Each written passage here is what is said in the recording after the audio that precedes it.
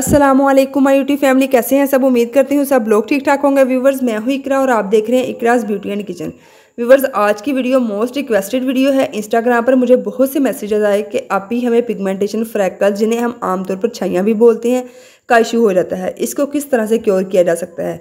आज जो मैं वीडियो लेके आई हूँ इससे सच में आपका मसला इन ख़त्म हो जाएगा। आप ने बस वीडियो को ध्यान से देखना है। अगर वीडियो का थोड़ा सा हिस्सा भी आप लोगों को पसंद आ जाए तो आपने लाइक ज़रूर कर देना है।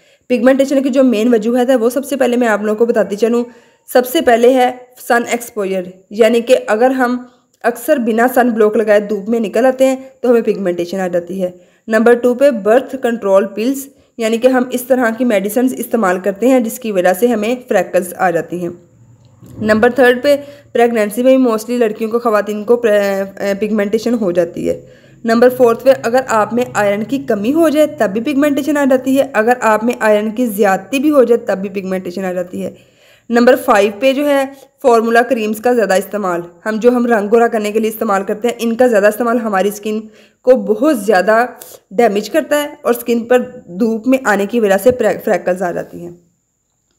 नंबर सिक्स पे है हार्मोनल इम्बेलेंस भी आ जाता है इसमें, जिन्हें हम P C O S P C O D भी बोलते हैं। ये सारी रीजंस होती हैं जिससे हमारे चेहरे पे पिगमेंटेशन और फ्रैकल्स आ जाती हैं। रेमेडी स्टार्ट करने के लिए सबसे पहले हमें चाहिए एलोवेरा जेल एलोवेरा जेल आप लोगों ने मार्केट वाली यूज़ नहीं करनी। आप लोग कोशिश करिएगा कि नेचुरल आप लोगों को मिल जाए। और इस तरह दबा दबा के आप लोगों ने इसका पल्प निकालना है वन स्पून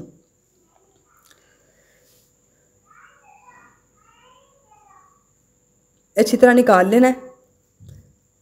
बस आप लोगों ने रेमेडी को ध्यान से देखना है और इन आपकी पिगमेंटेशन रिमूव हो जाएगी, लेकिन आप लोगों ने सब्र रखना है, क्योंकि फ्रैकल्स आती बहुत जल्दी हैं, लेकिन जाते जाते बहुत टाइम लगा देती हैं। आप और सब्र, आप सब्र और हिम्मत के साथ इस रेमेडी को यूज़ करना है, ताकि इसका रिज़ल्ट आप लोगों को हंड्रेड परसेंट मिल सके।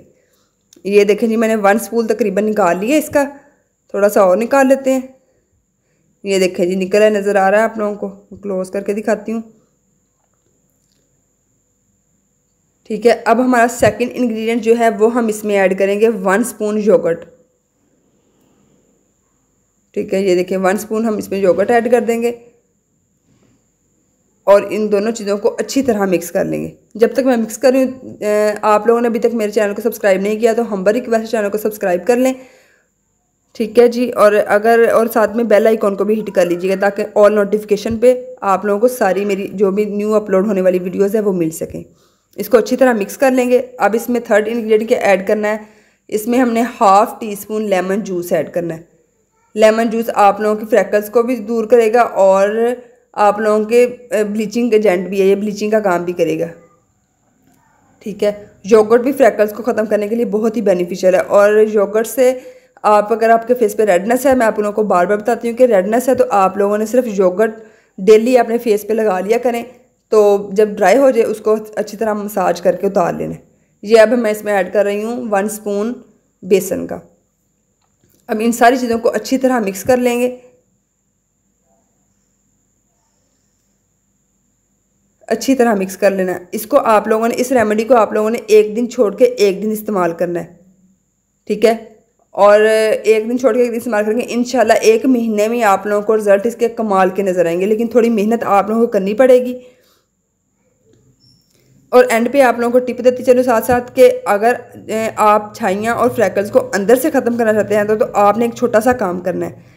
आपने वो काम क्या करना है कि लेमन ऑयल जो है ना वो आप लोगों को किसी भी पंसार की शॉप से मिल जाएगा। ठीक है? उसको यूज़ करना है आपने अपनी नाफ में यानी कि बेली बटन में। टू ड्रॉप्स रात को सोने से पहले लगाने हैं। ठीक है? कुछ ही अरसे में आपकी फ्रैकल्स और छाइयाँ जो हैं पिगमेंटेशन जो अंदर से ही जड़ से ही ख़त्म हो जाएगी। ठीक है?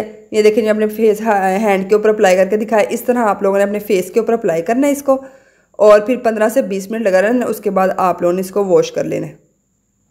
ठीक है? बहुत ही अच्छे रिज़ल्ट हैं। आप लोग इसको एक दफ़ा ज़रूर ट्राई करिएगा।